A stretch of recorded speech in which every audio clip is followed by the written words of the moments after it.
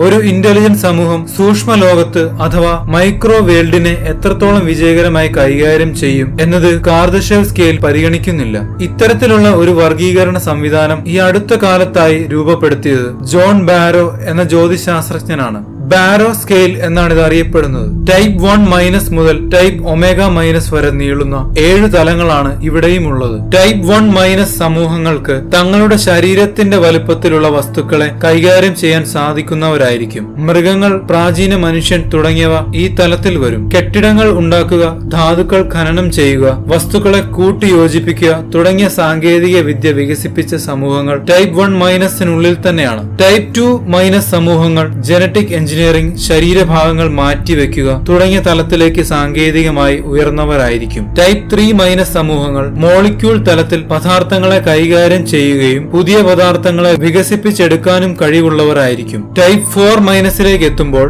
Atomic തലത്തിൽ ദ്രവ്യത്തെ കൈകാര്യം ചെയ്യാനും നാനോ ടെക്നോളജി വിജയകരമായി വികസിപ്പിച്ചെടുക്കാനും സാധിച്ചിട്ടുണ്ടാകും. ടൈപ്പ് ഫൈവ് മൈനസ് സമൂഹങ്ങൾക്ക് ന്യൂക്ലിയസിന് ഉള്ളിൽ പ്രോട്ടോണുകളെയും ന്യൂട്രോണുകളെയും കൈകാര്യം ചെയ്യാൻ സാധിക്കും. ടൈപ്പ് സിക്സ് മൈനസ് സമൂഹങ്ങൾക്ക് ദ്രവ്യത്തിന്റെ അടിസ്ഥാന കണങ്ങളായ ക്വാർക്കുകളെയും ലെപ്റ്റോണുകളെയും കൈകാര്യം ചെയ്യാൻ സാധിക്കുന്ന തലത്തിൽ സാങ്കേതിക വിദ്യ വികസിപ്പിച്ചവരായിരിക്കും. അവസാന തലമായ ഒമേഗ മൈനസിൽ എത്തുമ്പോഴേക്കും സ്ഥലത്തിന്റെയും കാലത്തിന്റെയും ഘടനയെ തന്നെ കൈകാര്യം ചെയ്യാൻ പ്രാപ്തി നേടിയിട്ടുണ്ടാകും. രസതന്ത്രത്തിലും ജീവശാസ്ത്രത്തിലും ഒരുപാട് മുന്നേറ്റങ്ങൾ ഉണ്ടാക്കിയ മനുഷ്യർ ബാരോ സ്കെയിലിൽ ഇന്ന് ടൈപ്പ് ത്രീ മൈനസിനും ടൈപ്പ് ഫോർ മൈനസിനും ഇടയിലാണ്.